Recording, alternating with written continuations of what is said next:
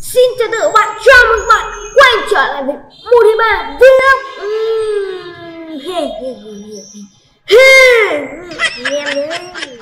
Hôm nay mình sẽ trộn làm một thí nghiệm quý dài đấy. Thì anh em là không biết là mắt mình có thể nhìn nè. Rất là ví dụ mình nhìn ánh sáng ấy thì mình có thể nhìn.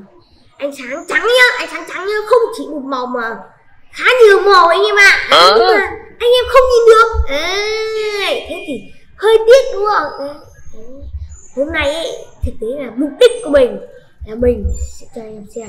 Nếu mình phân tách ánh sáng ra thì ánh sáng trắng ánh sáng trắng nhá. Thì nó có đơn thuần nó chỉ là trắng thôi hay là nó có những màu khác? Uhm, ok. Đấy thì muốn phân tách ánh sáng ra ánh, ánh sáng kiểu ánh sáng mặt trời các bạn nhá. Đấy chúng ta sẽ cần một vật khá là khó tìm. Uhm, đây đây người ta gọi là lăng kính. Uhm. à ừ đúng rồi. Ừ. vậy thì lăng kính lăng giải thích từ khóa tiếp theo. Ok giải thích từ khóa tập 2 à, em hỏi anh lăng nghĩa gì? À, à, lăng có nghĩa là lăng trụ. À, lăng trụ. Đấy, và đây là cái này là hình tam giác nha bạn tam giác này. Đó tam giác nhá? Đấy vì vậy? Cái này gọi là lăng kính hình tam giác. Đấy kính là phải là kính nhìn được trong suốt nhá.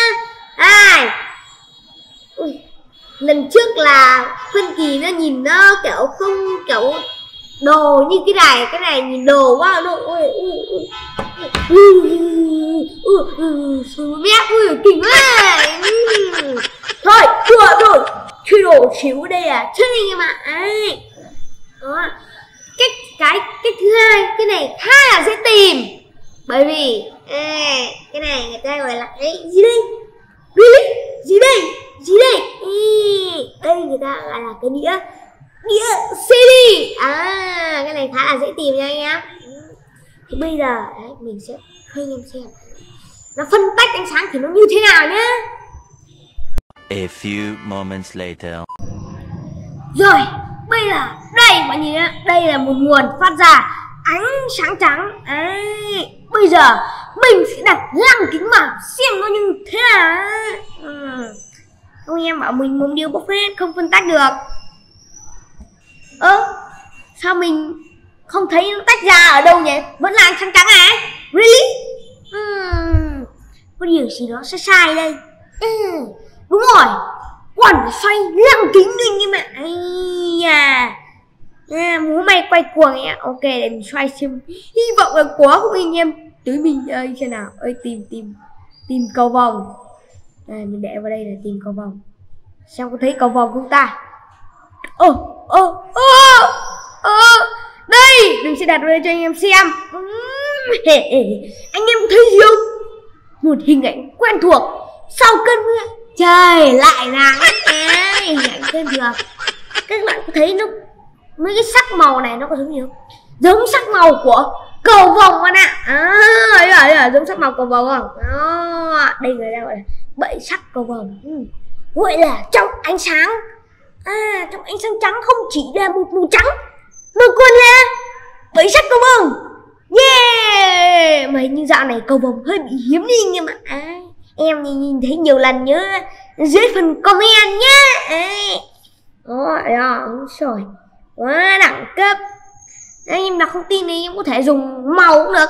Dùng màu kiểu có cái lò màu xong em trộn bảy sắc màu vàng này, đỏ này lục lam tràm tím cam. À, đỏ đỏ cam lục lam tràm tím.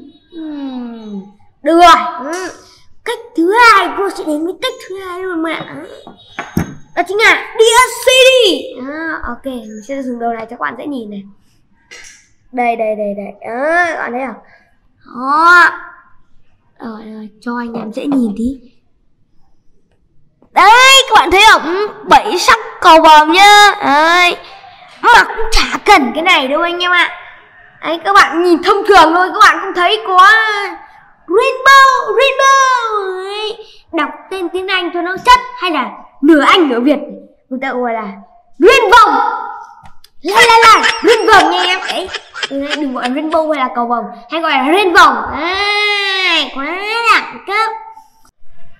Như vậy hôm nay mình đã cho các bạn biết cách tách ánh sáng. À, thì anh em ôn lại tí nhỉ ôn lại bài vở. Không là lên lớp cô giáo đánh một ít. À, cách một là sử dụng lăng kính. À đây lăng kính nha. À.